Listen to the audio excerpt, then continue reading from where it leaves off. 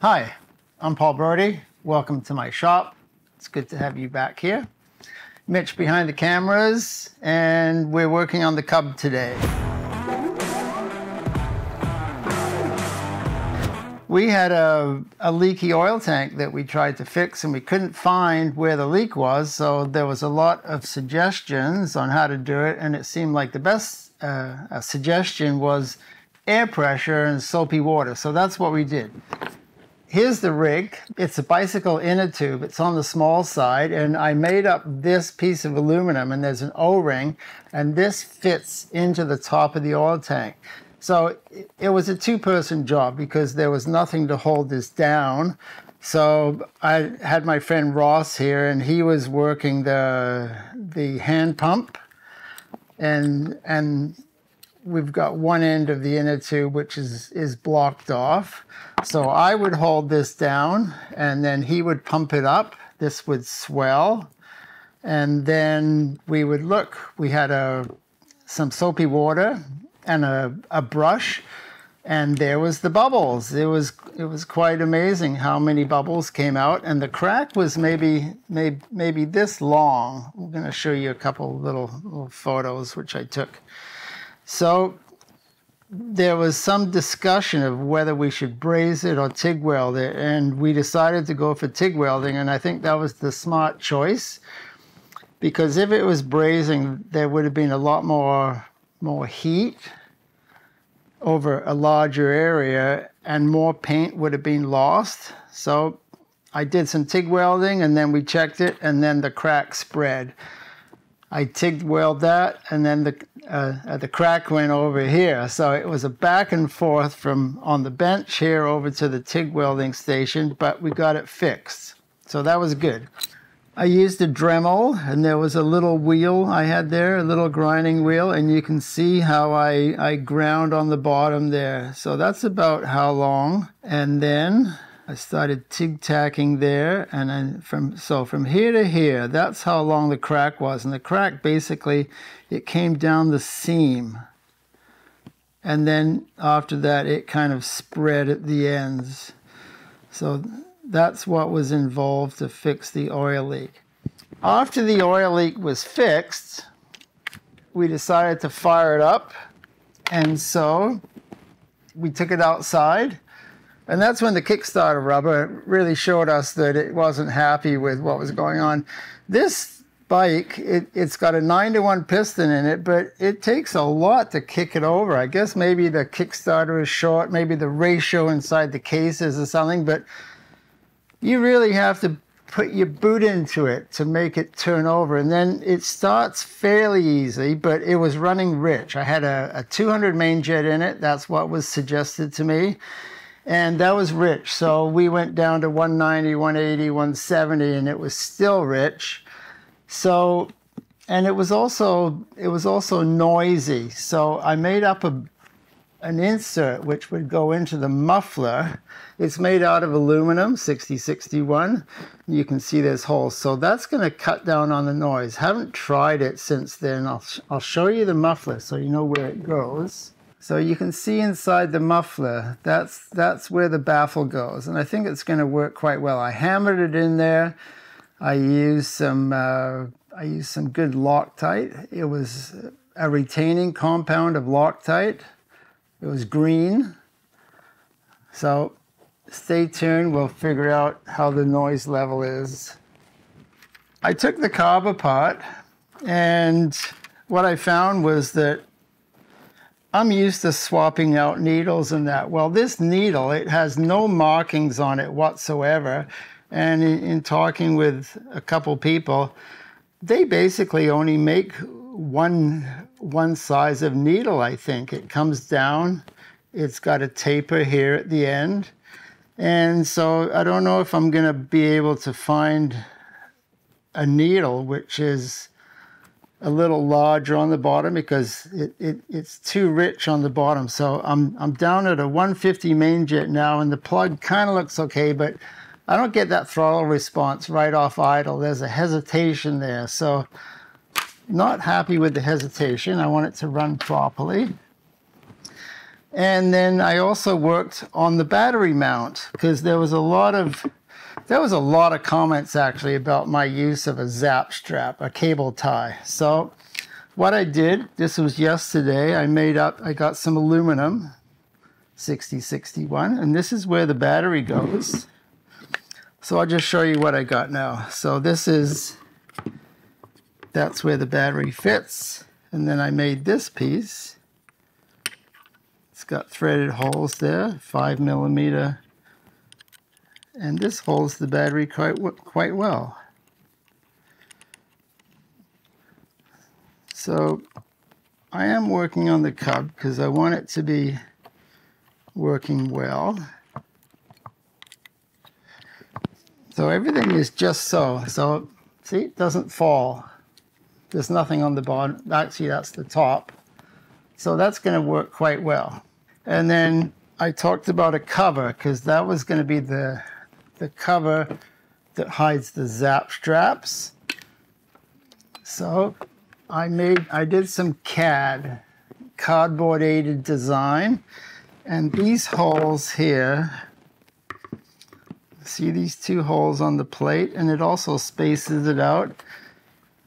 That's where the mount's gonna go, something like that there. You can see where the hole lines up. So that's, we're going to make that out of a piece of aluminum today. I've got some 3003 80 thou thick. So that's going to be the project for today. But also what's going on, now that the oil tank is fixed and it's not leaking, there is quite a bit of oil that's coming out of the motor. So we're going to take off the side cover on the right side and we're just going to have a peek inside to see if we can tell where that oil is coming from.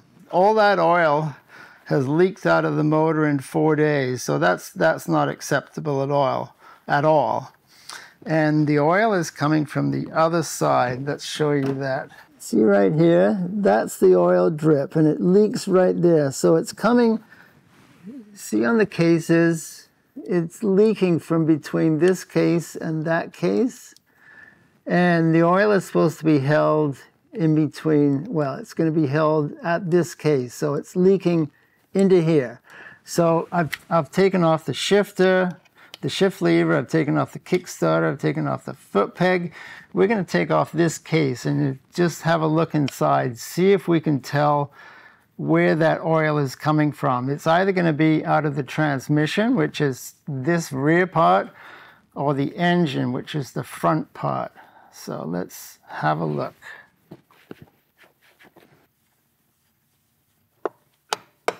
Okay, it's coming. Oh, okay, look at that. See, see the oil coming out of there? Did you see that? So there was a level of oil in there. There's not supposed to be oil in there. So it's seeping seeping and weeping. See that oil there? There's not supposed to be oil in this. So I guess what I can do if I can if I if I clean this off, maybe we can see where it's coming from because right now I'm not sure. It's possible the oil could be leaking out of the shaft here because that's a shaft in a bronze bushing right here and there's no seal, but I think the level is supposed to be lower, but maybe it's coming out of there, but it, just keeps on, well, if it fills up here, it's, it, it's going to keep on leaking because there's a quarter inch or more oil in the bottom. So anyway, we will figure this out and we'll probably get back to you in a, another episode. what the plan is is to get the bike running well and then go for a little road ride around here and do some filming. So that's the goal here is to show the bike running nicely. Okay, I'm going to bolt on the battery mount, but what I want to, want to show you here is that I changed the mount on the oil tank. This used to be a solid mount on the bottom, and now it's it's it's one of those rubber mounts. So it's it's actually isolated that because that's where the crack was, right along there. And I thought that if it is putting any tension on the on on the oil tank when I I torque it down when I torque the bolt down. So this is solid up top, and this is a see it's a rubber mount. So that's going to isolate this from cracking, hopefully. So we'll see how that works. Got one bolt, one Allen screw that holds this on the top.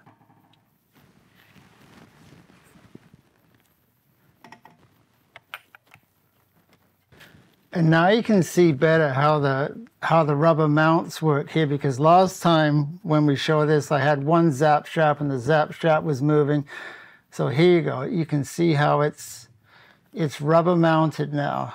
So I like that. That looks good. And then the cover, I did this yesterday. It's just out of cardboard. And I, I took welding rod or a, a brazing rod and I reinforced it with masking tape there. So this is going to look something like that. Something like that. So it's going to it's going to hide all this. And I think it'll look, look okay. So our mission today is to make this out of aluminum. And I want to show you something else about, about what I did in the past. Years ago, maybe 20 years ago, when I was racing Aermacchis, I used to make belly pans. And it's made out of a piece of metal. And this is my template. So I would I would trace around here with my red felt pen. I would cut this out on the bandsaw, and then I would bend it up. I had a special bending jig for this in the arbor press, and then it ended up like this. So why I'm telling you that is because I have an idea of what this shape has to look like, but I don't really know until I make it. This I, I spent maybe a whole day in in coming up with this shape because I would I would try a shape and then I would bend it up and I go, no, that's not the right shape. And then I would I would make a, a different shape. I would modify it a little bit. I'd try that again. So this is probably shape number four or five to get this right.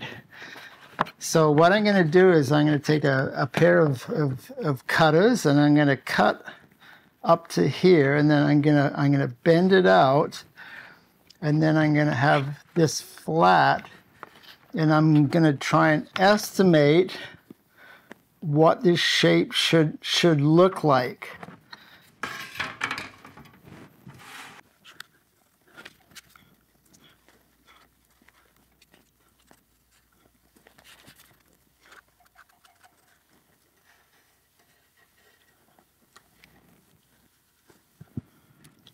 So there's, that's where the hole is going to go.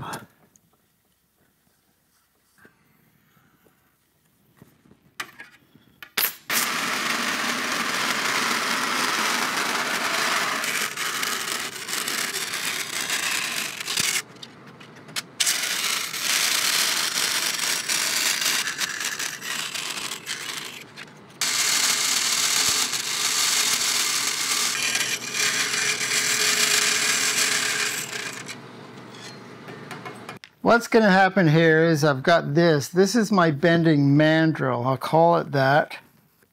And I need a, a piece of uh, a flat bar on the other side, and then I hold it in the vise here, and then I, I bend it by hand because it doesn't need a huge amount of force. This is sort of off the cuff. So I've lined it up, and then I go back a quarter of a turn like that. And then that's where I start my bend, like about that. So now I need a, a, spacer to go from here to the edge so that I get the spacing right when I start the bend. So that's about like that. So what is that? Is that half inch? Just going by the seat of my pants here. Yeah. So that's, that's half inch basically. So if I take a half inch spacer and I put it like that, that's where I start my bend.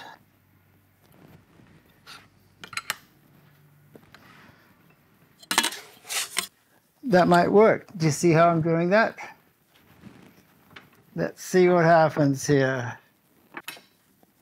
Might have to hammer it a bit. Let's see what happens here.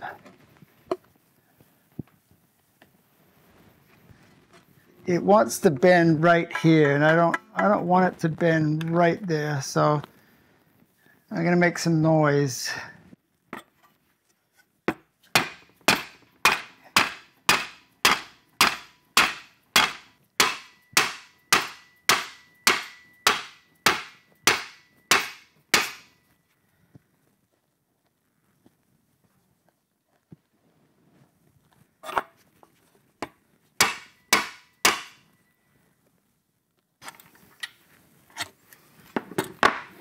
Happy with that. See that? That's that's a nice bend.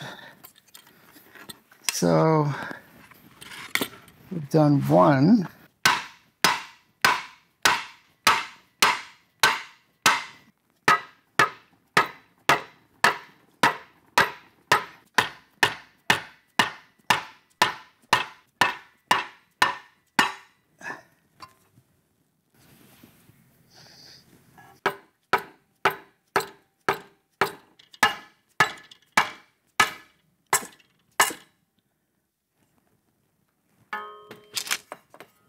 Okay, we got four bends. Now we have to start on forming those, uh, all the corners because it's got to be a nice radius. Actually, this radius should match that radius there. So let's go see how we do. What's happening here, I've got inch and an eighth. It's a little larger than this corner here but this has to go inside. So I'm, I'm gonna round the end. I'm gonna put a nose on it, a nice, a nice radius. This will get held in the vise and then I can hammer this, this down to that radius. So that way it's consistent between all four corners. So.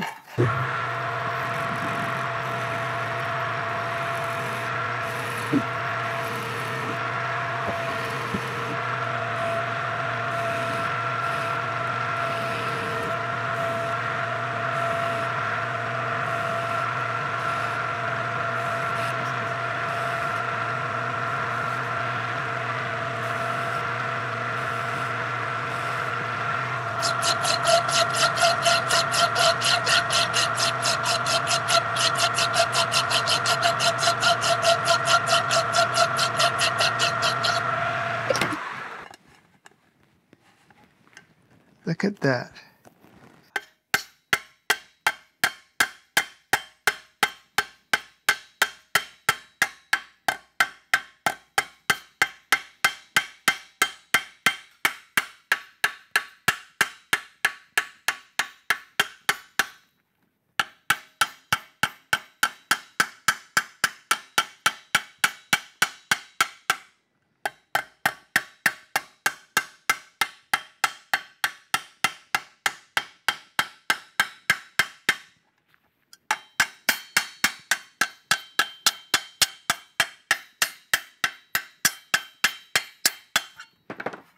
Comes together like that. And then once I put a, a tig tack right there, then it's easier to, to just knock this down and so it closes in.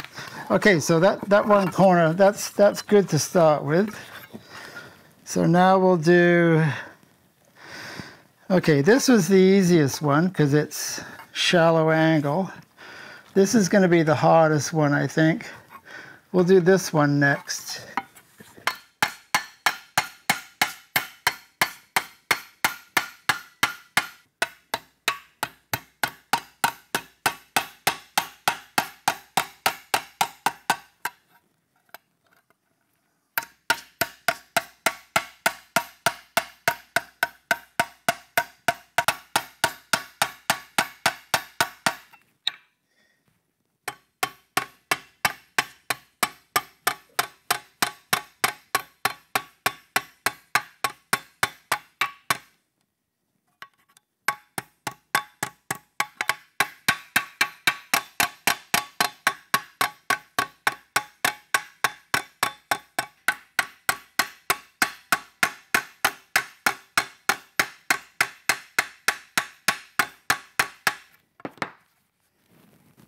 Okay. I like that corner. Okay, over to the TIG welder now. We'll do some aluminum welding. Haven't done that for a while.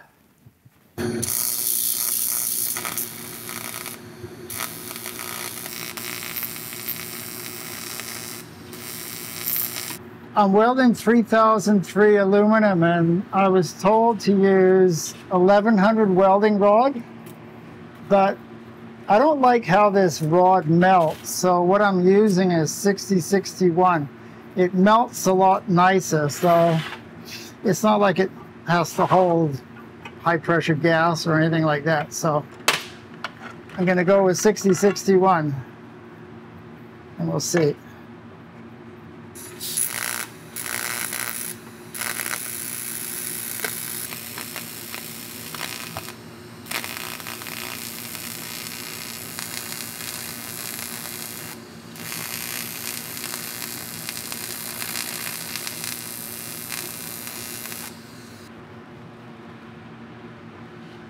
Okay, so a little bit more hammering, a little bit more welding,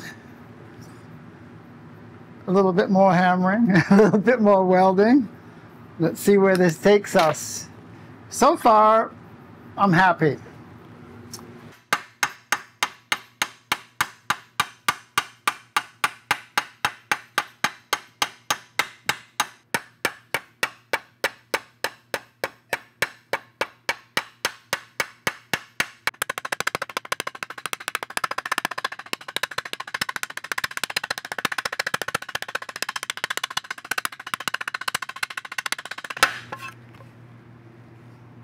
Okay, a bit more welding now.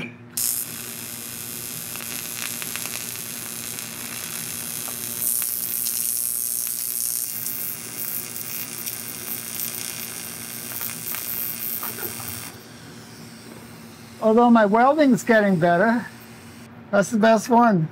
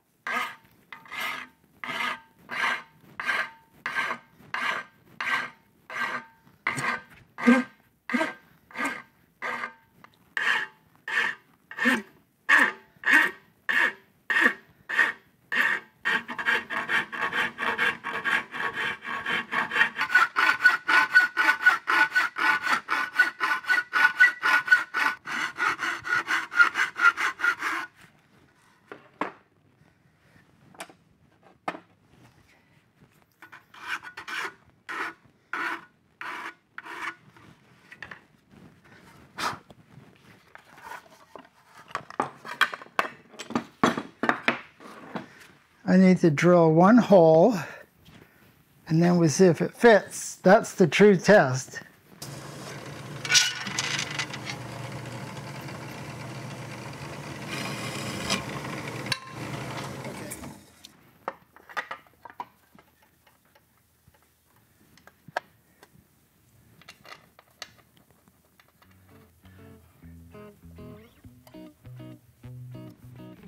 All right we finished the fight, well, basically finished the, the basic shape and form of the side cover. Thank you for watching. We appreciate it very much. If you haven't subscribed to our channel, please do. We appreciate it. And Mitch and I like coffee. If you buy us some coffees, that really helps the flow of this channel as well. Until next time, you take care. Have a great week. Bye.